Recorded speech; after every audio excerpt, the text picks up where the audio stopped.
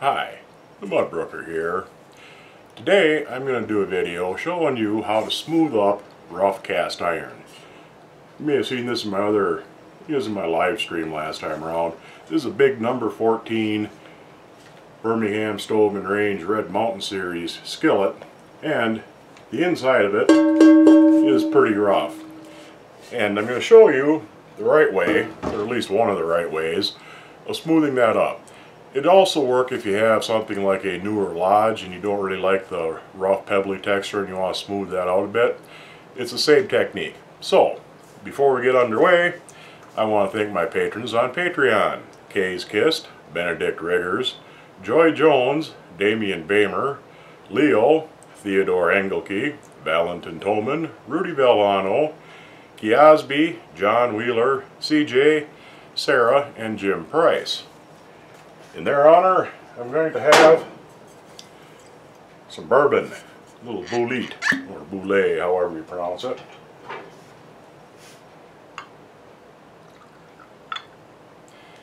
Here's to you guys. Your support is greatly appreciated. And since I started memberships on my channel, I have members to thank too. The Needy Homesteader, Brian's Aquatics, Grampy Lobster, Comfort Doll, Killer Miller, Lance Allen, Dizzy D, and Concrete Sailors. And in your honor, I'm going to have still more bourbon. Your support is greatly appreciated and I thank each and every one of you for your continuing support. If you'd like to join the channel, there's a button down below you can click on, or you can go over to Patreon and become a patron. Anyway, set this aside, move my camera down, and we will get underway.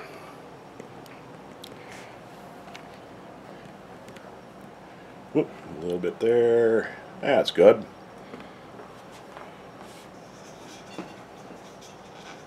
Now when you smooth up cast iron, you don't want to use a grinder or something of that nature because, gotta flip my, there we go. When you smooth up cast iron, you should use a random orbital sander like this. If you use a grinder, especially with a hard grinding wheel, you will gouge the bottom of your pan and you'll end up with thin spots which will are liable to cause cracking or warping. You also don't need to get out all of the pitting. This has got quite a bit of different kinds of pitting on it. There's a lot of light little pitting up in here. Down here there's some heavier pitting. And trying to get out the really deep heavy pits, again you end up making thin spots. It'll make it heat unevenly and it can crack and can warp a lot easier because it doesn't heat evenly. It's a pretty simple process. I have a coarse 50 grit sand pad on this and I'm just going to run this around the inside and get her smoothed up.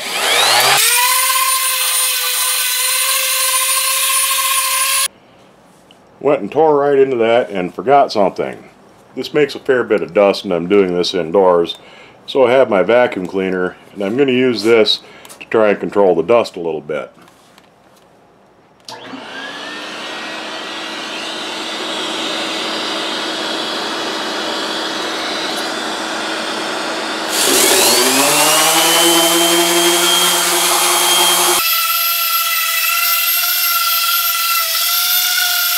This is about a half an hour's worth of work and I went through three sanding discs on the uh, 50 grit coarse and you can see it's really made quite a bit of difference. It's taken out a lot of that real fine pitting. There's still quite a bit of the medium pitting and the heavy pitting down here but that's all the farther I need to go because just running my hands over the surface rather than having sharp edged pits all over the place it's taking the edges off of them and it's smoothed it out quite a bit. So what I'm going to do now is scrub this up, get my wood stove going, and I'm going to put a couple of coats of seasoning on this just to keep it from rusting. And if I have time yet tonight, I'll put probably three or four coats on there to help fill in these pits a little bit.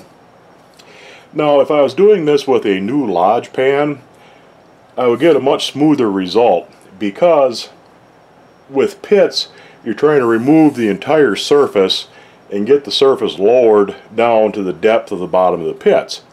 And that's a lot of material to remove, which I don't really want to remove all that much. With a rough pan like a Lodge, what you're doing is you're knocking down the high spots and getting those down. So there's a lot less material material to remove and it'll uh, get a lot smoother finish. Now I just used the coarse grit discs on this and I'm not going to go any finer because you don't need to get these polished to a mirror finish. I've seen a lot of people do that and you just don't need to do that. It just makes it more difficult to season. And this is plenty smooth and uh, I'm real happy with the way this has turned out. Anyhow, I'm going to get my stove going, I'm going to scrub this up, and I will be back once that's underway. Okay, my oven isn't quite all the way up to temperature yet, but before long it'll be screamingly hot. I got this warmed up good, I'm going to give it a coat of Easy Beezy. I've been using this quite a bit lately. A fellow here on YouTube named Steven Strawn sells it, and it works real nice. Now, any seasoning, the process you do in the oven, you're really just putting down a base. So this will still have to be broke in after we get it get it uh, seasoned up in the oven. But this stuff gives you a real good start on it, so I kind of like it. Well, I really like it. Anyway, rub some on, take a cloth, spread it around good, wipe off the excess, and give it a nice even coat nice thin even coat. Get everything coated up good. Let's see, that looks good.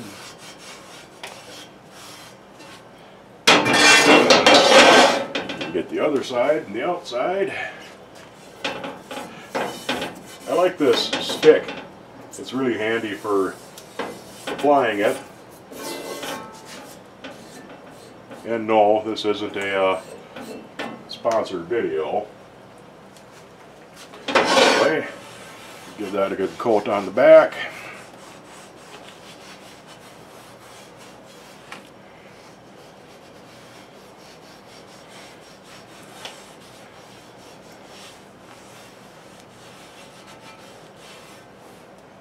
It all there. Get some on the handle. Oops, touched my stove, it's really hot there. And we'll move her on down here. And in the oven to go for an hour or so.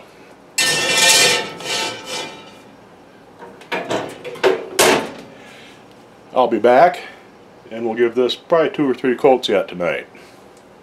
Okay, you can probably see the needle on my heat gauge is pretty much pegged out on the oven and that's where you want it to be for seasoning things. We'll get this guy out. Ah.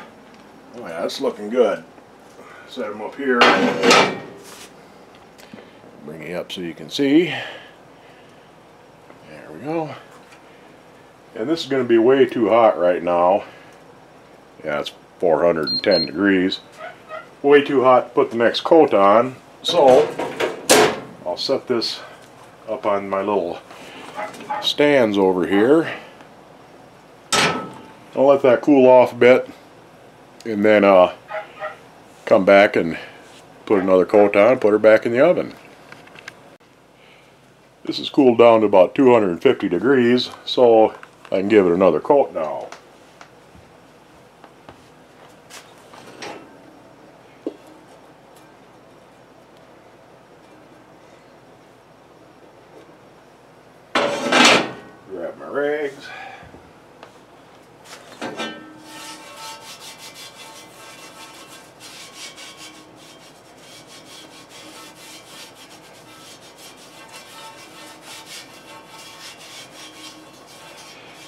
Color looks a little bit uneven, and that's because the uh, pitted parts look a little bit darker than where it's really smoothest. But that's not really going to be a big deal, I don't think. We'll see later. But, flip it over. Get the other side. Some on, move around the side.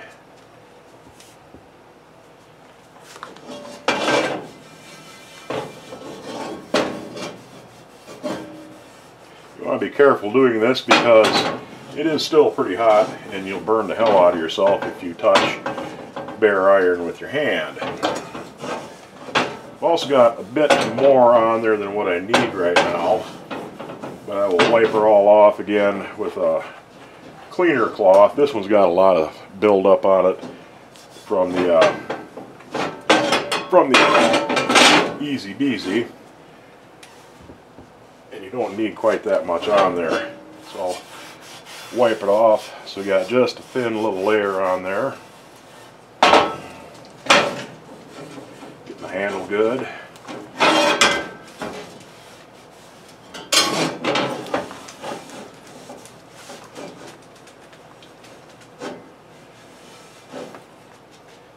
And we're ready to go back in the oven.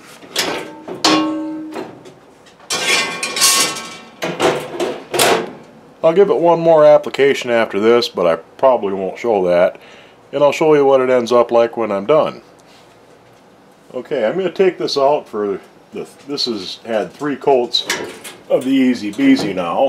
I'm going to take it out, and we'll have a look at her.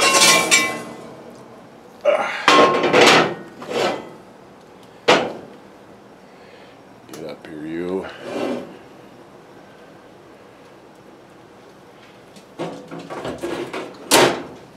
pretty hot. But that looks pretty good.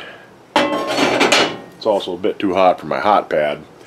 But it's looking pretty good. I'm going to let this cool off and give it a coat of uh, clarified butter and let it finish cooling. And uh, seeing as I was getting late, tomorrow morning we'll fire up the stove again and we'll break this in.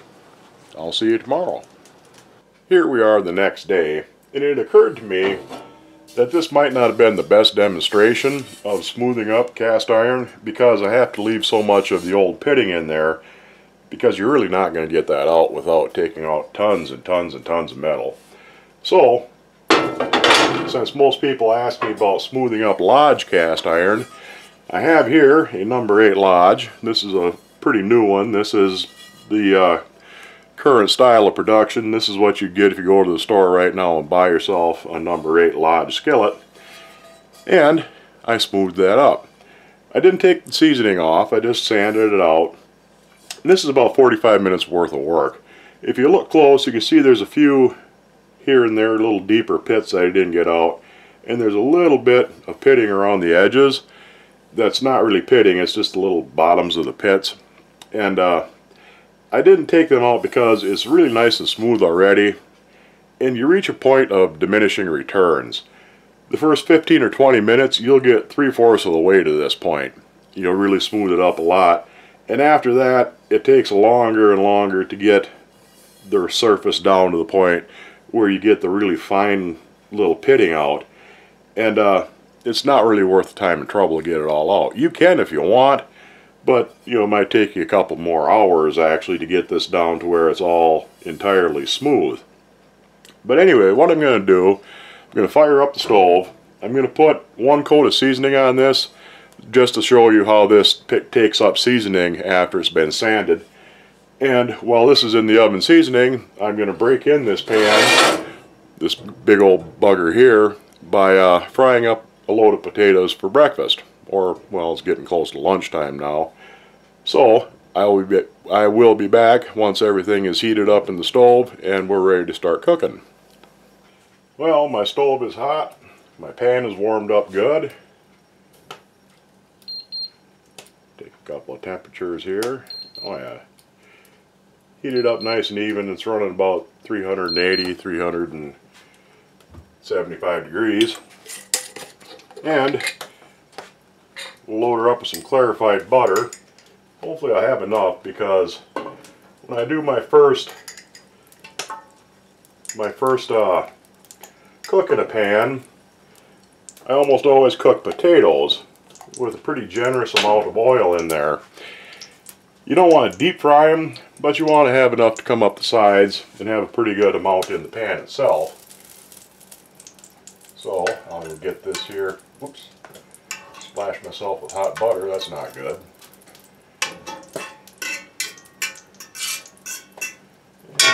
And I think I'll need a little bit more than that. A couple more good sized chunks. This isn't enough. I have a little cooking oil on hand, but that should do her. Once I get that all melted down, get the oil good and hot, and I'll throw my potatoes in.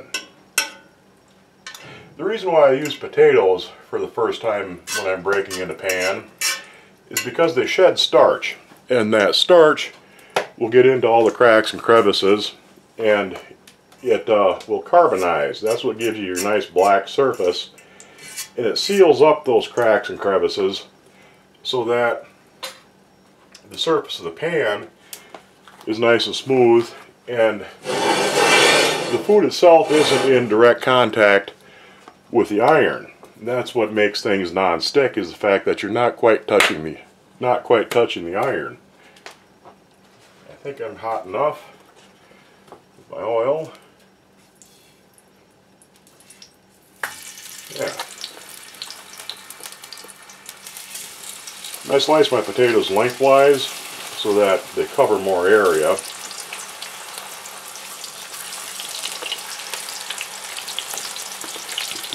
Guys along. I have that Lodge skillet in the oven and that's heating up real good. By the time I'm done with these, that should be just about ready to have a look at it and see how it's doing.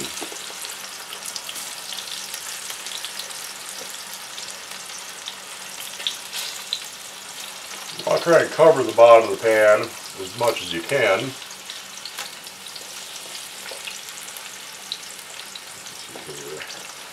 Kind of push these guys around a little bit. Yeah, that'll work. Set the rest of my potatoes aside. I gotta grab my salt and pepper. You can keep an eye on these for me.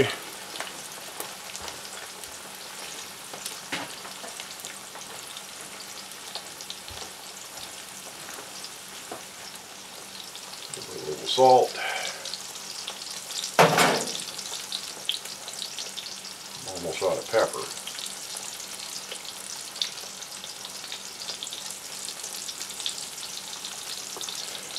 But we'll get these guys going.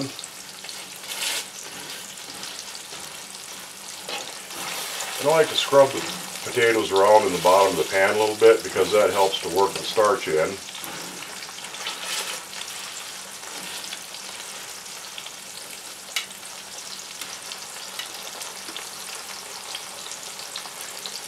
And I'll spin my pan around so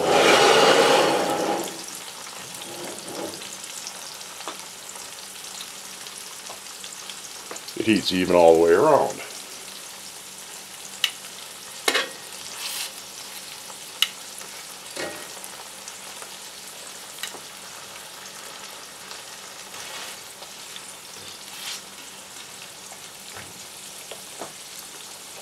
I think I want to be just a little bit hotter, so I'll move this a little closer to the fire.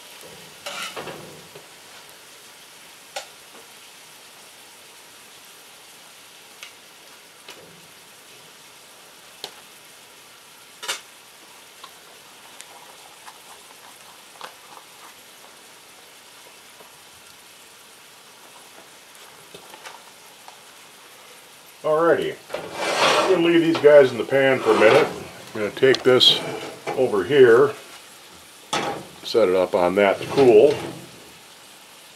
Pan's still hot so they'll keep cooking for a while. And I'm going to come down here, grab that little lodge skillet and see how that's doing.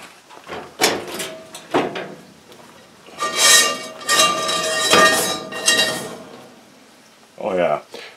See that took seasoning very well. You can tell that it soaked in good. It didn't uh, beat up and just sit and just sit on the uh, surface like it would if you had cleaned that up with a grinder or a wire wheel. Come spring, once I can work outside again, I'm going to do some videos showing you the wrong way of smoothing up a pan and what makes it real hard to season and why. In the meantime, I hope you enjoyed this video. If you feel so inclined, please hit the join button or check me out over on Patreon. For my next video, I'm going to be doing a live stream for members only. I think I'll give you a little bit of a history lesson. If you want to know what it is, you'll have to join to find out. Anyway, talk to you later. See you next time.